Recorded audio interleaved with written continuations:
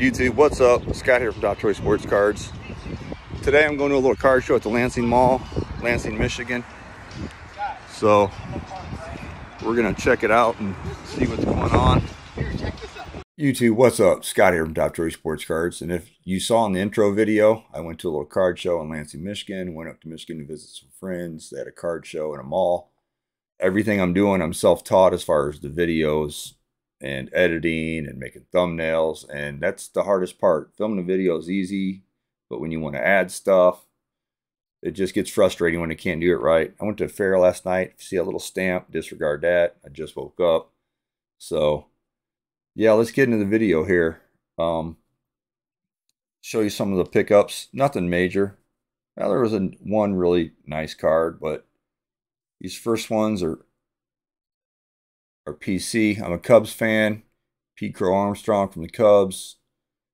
Uh, doing doing pretty good. He was really hot. He's cooled off a little, but he's in high A right now. It's uh, they got him from the Mets for the Baez trade last year, but we got a Pete Crow Armstrong Chrome and uh, three first base. These are all his 2019 Bowman first. So I think I paid like $15 for these four cards. Uh, my next pickup was a Trey Lance Prizm Black. These are out of uh, the New Chronicles that's coming out soon, but pretty high on him. Uh, I'm going to clean this off. I see a little white right there, but I don't know if it's on the card or it just might be dust. So, might submit that one this one here, Trey Lance, Orange Cracked Ice, Prizm. This was one of my favorite pickups here. I don't say favorite, but we got the Laser Jordan Poole, Purple Disco Jordan Poole. These are all rookies. And then the base, these are all the premium stock. It's like the Hoops Chrome. Um, I say I picked all three of these up for $10. So I'm going to take a look at those. This one here, Pat Freiermuth on campus, really nice card. I'll uh, go to here on campus. And my favorite pickup of the day the most expensive pickup of the day was this Justin Herbert blue die cut PSA 10 from Select 2020.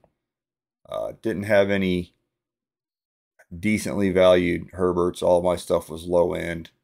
So, I mean, low end and high end is relative. I know there's $10,000, $20,000 Herberts, but to me, this is a higher end Herbert or a medium. I guess you'd call it more of a medium range, but